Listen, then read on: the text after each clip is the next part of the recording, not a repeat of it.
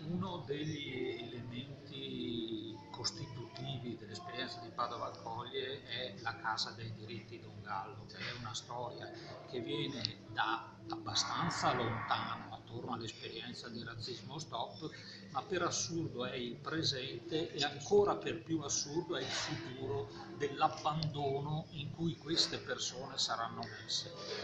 La struttura è totalmente eh, come dire, autogestita e non ha nessun tipo di sovvenzione, è interamente laica, perché l'altro aspetto da notare è che certamente alcuni aspetti come dire, chiesastici funzionano,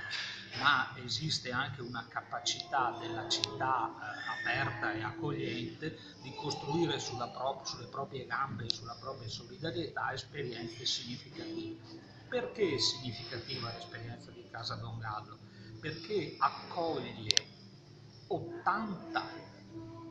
a rotazione cittadini del mondo che sono diventati un po' per necessità e un po' per loro scelta cittadini padovani.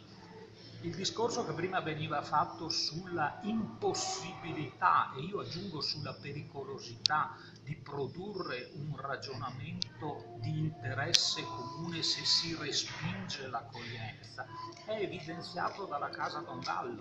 nel senso che lì non possiamo io istituzione